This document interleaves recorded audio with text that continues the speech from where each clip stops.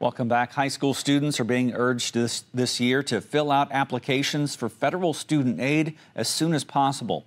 KTVO's Jordan Barr explains why the state and federal governments are both pushing so hard for this possible for prospective college students by providing a service that can substantially help in paying for all those fees that come with getting a college education.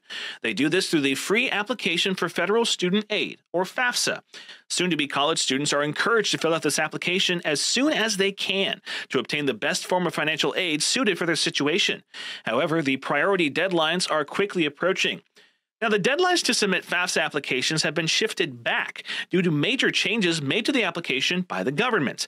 For Missouri, students should submit their forms by April 1st of this year to receive priority consideration for better financial support through the Access Missouri grant. This new program was established in the wake of this year's edited form.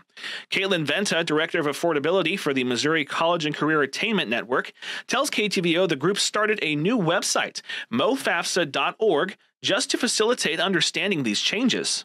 We were trying to wrap our heads around them, and we knew students, families, and counselors would be as well. And so we wanted good quality information in one place. So we said, let's develop mofafsa.org as the one stop shop that Missouri students can go to find the information that they need to complete their FAFSA. The changes to the FAFSA include a streamlined process with fewer questions, mainly on financial and tax information. So everyone gives consent and approval for their information to be shared because you filed your taxes. They have all this information. You don't need to type it again. So for most students, that's going to pull over. According to the U.S. Department of Education's Student Aid website, you need to register for an FSA ID so you can log in and complete your application. Every student and parent should have their own ID to log into the Student Aid site, and it takes a little bit of time for Social Security to approve them. You should also have documents handy, such as your parents' social security numbers if you're still a dependent, as well as tax forms, current balances of cash, savings, and checking accounts, as well as current income numbers. You should add any school that you plan on applying to or that you have applied to, even if you haven't been accepted yet.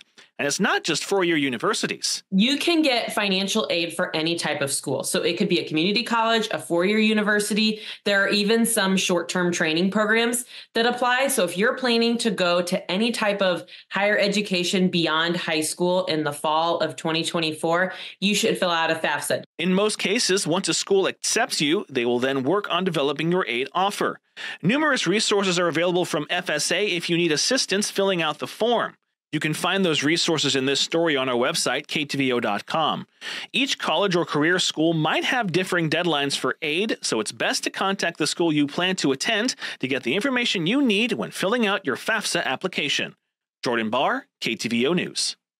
Despite all of this help, there's actually a decline in the number of high school seniors filling out FAFSA forms for the 2024-25 school year, including in Missouri and Iowa. That's mainly because of that delay that came from the massive change of the form. We've reached out to a number of schools in the heartland to see what they're doing to get more students to apply and if there's anything a student or their parents can do to make the process easier. We hope to bring you that information in the near future.